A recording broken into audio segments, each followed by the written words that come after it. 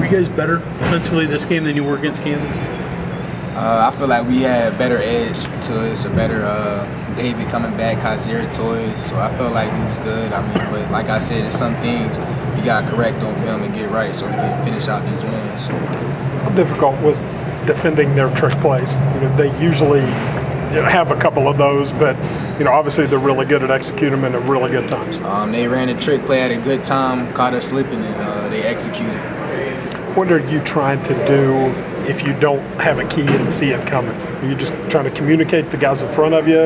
you know? Uh, well, they trick plays. They always got some type of indicators. 25 in the game, 16 in the game. I mean, I could say we could do better at just communicating and going through our progressions. How hard is it because of Turpin though? You want to follow him anywhere, uh, right? Yeah, I mean, but let's just come back down to what I said. If you just re- do your uh, job, read your keys, everything should fall in place.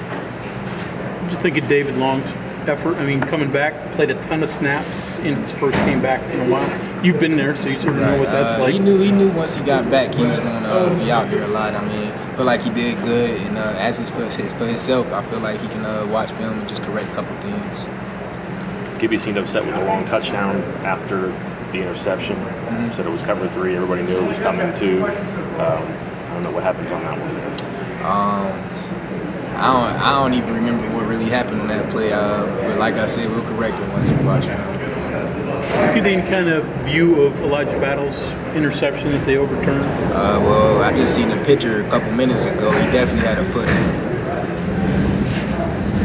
Tough you guys didn't get calls, and that's part of the game, but is that frustrating? Uh, I really don't pay attention to that. I mean, I just play football, do my job, and let the refs ref, and I play what I do leave it.